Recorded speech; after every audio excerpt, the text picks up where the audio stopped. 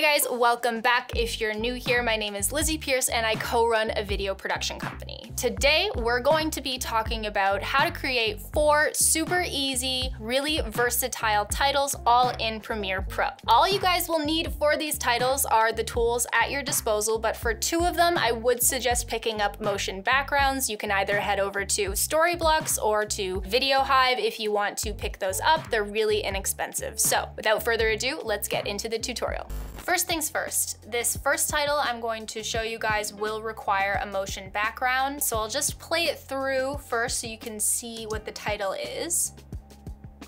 So it's a really cool ink blot and I actually have three different options. So in the first option, it completely wipes off the title. In the second one, it changes the color of the text. And in the third one, it actually reveals a second word in the title. Pretty cool, right?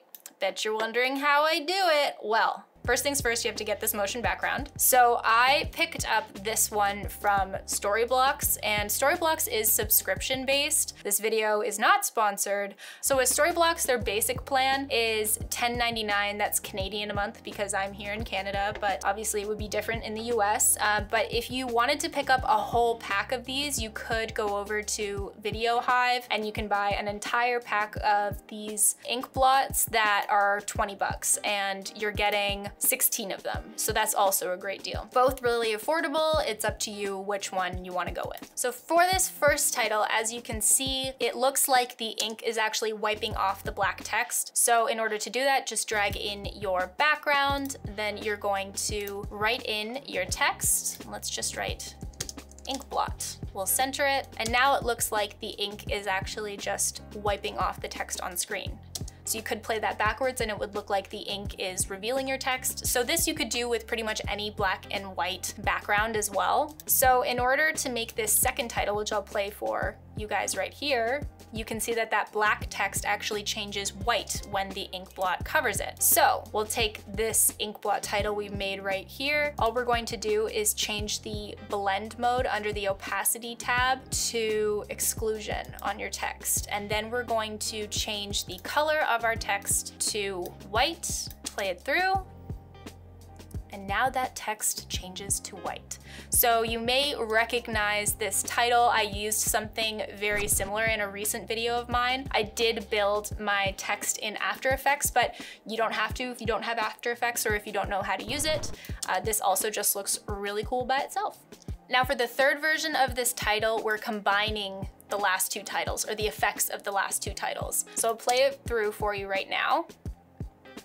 As you can see, the ink blot is reversed and we're revealing the word titles. Basically what's happening here is the word cinematic has the exclusion blend mode and the word titles just has a normal blend mode, but it's filled with a black color. So let's build that with our title over here. So what I'm going to do is duplicate the text layer just to make sure that they line up perfectly. So now we've got the full word ink blot, but as you can see, they both still have the exclusion mode on. Just like in this cinematic titles, we can see that we want to leave exclusion blend mode on in the word ink, so we're gonna leave that the way it is. But in the word blot, we're going to change the blend mode to normal, and we're actually going to fill it black. Then we're going to right click on our video background and we're going to reverse the speed. Now you can play it through and it looks like it's revealing the word blot. The only thing I'll change is I might add a little bit of a crossfade to the word ink just so it fades on so there you have it, three variations of the same title. It's super easy and definitely looks a lot more expensive and complicated than it actually is. So title number two, we have a very cool reveal effect going on with a rectangle. And again, this one you can actually build completely on your own. All you need to do is steal an image of a rectangle off Google, and those are free. First thing we're gonna do is drag in our rectangle, right now, it doesn't move at all, but we're gonna change that. So we are actually going to build a mask. We're gonna go under the opacity tab, hit this cube icon and now we've created a mask. So now we're just going to make that mask a little bigger.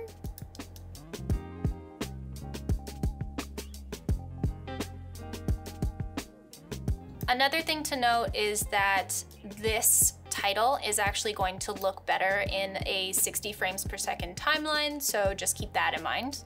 Now we have our mask and the first thing we're going to do is take this side of the mask and bring it all the way over to the left and make a keyframe there. Then we're going to move to right there. For now, we can always move these keyframes later for the sake of timing. I'm gonna find our mask again and we're going to grab this side and pull it all the way over to the right to reveal the full cube. And we'll move over a few frames again, select the left side of our mask and pull it all the way over to the right. So as we play that through, you can see that the rectangle appears from the left and then disappears to the right. And that's exactly what we want. So now we're gonna go ahead and add our text. Now that we have our text, you're going to want to find the part in your rectangle where the rectangle is fully visible, and that's where you're going to insert your text. So that's where it will begin. And then as that rectangle wipes out, it'll appear like it's revealing your text. Now, as you can see in the title we made before, we have this rectangle revealing from the opposite direction. So again, that's the same principle. All you're going to do is bring in your rectangle once more. We'll make another mask. I always just extend the mask fully so I can see the object underneath first. Now you're going to take the top two corners of your mask, bring them all the way down to the bottom, make a keyframe, move over a few frames, pick up your mask again, open it up so you can reveal the entire square. That'll make another keyframe as well, automatically now. Move over a few frames, and then you'll take the bottom two corners of your mask and bring them all the way up to the top. So same thing, we're going to look for that portion of the rectangle where it's fully visible. That's where we're going to put our text and we can actually change this to the word text. The other thing you'll notice is you just wanna make sure when you start layering these that you don't have your two text layers overlapping. So all I'm going to do is end my first text layer when my other one begins and you'll have a seamless effect. And you can be much more precise with the mask than I was in this and play with the feathering of the edges. I'm just showing you guys this really quickly so you have the principles to be able to build this yourselves. Title number three, this one is super easy. Again, I picked up these backdrops from Videohive and I got a huge pack of them. Some of them were smaller like this one and some of them were big backgrounds that covered the entire screen. I'm pretty sure it was about 20 bucks, but don't quote me on that, but it was still really inexpensive. First, I'll play it through super easy, super simple. Again, looks a lot more expensive and complicated than it actually is. So all you're going to do is drag in your video file right here, and it's quite big right now. So let's just bring it down to 40% of its original size. You do wanna make sure that you're getting backgrounds at the largest size possible so that if you wanna scale them down or you wanna scale them up, you have the option to. Next thing you're gonna do is add your text that's about the size I want. Now we're going to change it to black and here's the fun part. So what you're going to do is go into your effects panel. You can look up paint and I like using the paint splatter wipe effect, or technically it's a transition. You're going to pull that on the beginning of your clip and I shorten the length of time to make it a little bit faster. So now as you can see, it looks like the word paint is being actually painted on along with the background. So now all we have to do to allow it to animate off is we'll take this background layer, duplicate it, right click, go to speed duration, hit reverse speed, and now it paints off and you're going to just extend your text layer, grab that paint splatter effect or transition, make it play a little bit faster, and there you go. And it paints off. And if you are using black text, on a black background. I know you're probably thinking, what's the point of using the paint splatter transition on and off? Well, you aren't always using a black background. You could have a different video playing underneath, in which case this paint splatter transition is very visible. And again, this is a transition in Premiere, super easy, but really cool looking and applies to a lot of different types of videos. I've been using this in a few videos of mine as well, and I love it because it's super simple and looks really cool. Our last title, and arguably the simplest one, you don't need any motion backgrounds for this. This is completely up to you, completely built in Premiere Pro. I'll play it through to show you guys.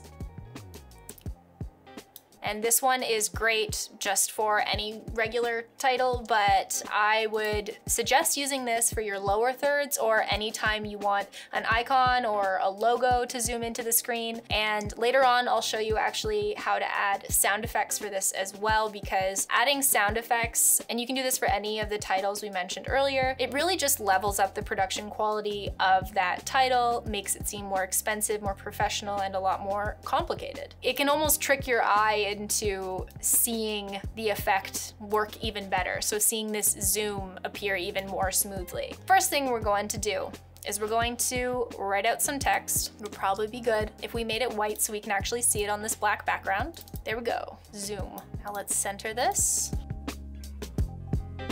Now we're going to add some keyframes. So if this is where we want it to land, let's add our first keyframe here for position. We'll go back to the beginning of the clip and we're just going to drag it off screen to the right.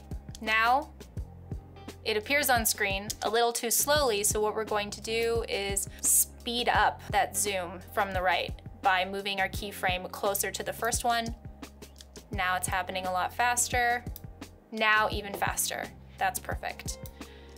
But as you can see, it doesn't have this nice motion blur, so that's what we're gonna add right now. So we're gonna go into our effects panel. We're going to search blur and we're going to select directional blur and drag that on top of our clip. Then the direction is 90 degrees because it's coming from the right over here. And we're going to go to the beginning of the clip. So we're going to put our blur length at 190